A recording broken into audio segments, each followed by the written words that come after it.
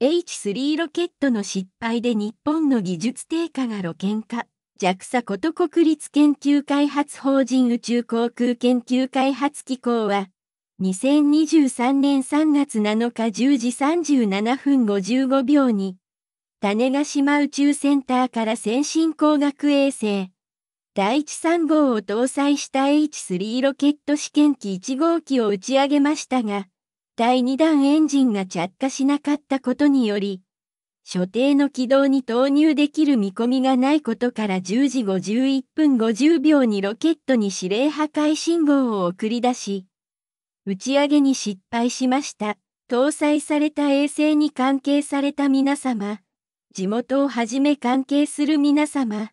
そして多くの国民の皆様のご期待に応えられず、深くお詫び申し上げています。現在、山川理事長を長とする対策本部を設置し、原因調査を実施しております。調査状況等につきましては、随時お知らせいたしますとのことです。先日の H3 ロケット打ち上げの不発に引き続き、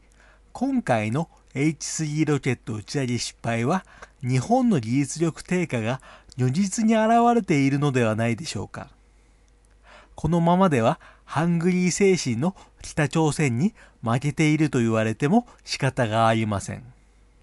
岸田総理が公約として掲げる防衛費を増額するにしても、まともにロケットを飛ばせないようでは無駄遣いに他ならないと思います。防衛費を増額するにしても足元の技術力を固めるべきだと思う方はチャンネル登録と高評価をしていただければ助かります。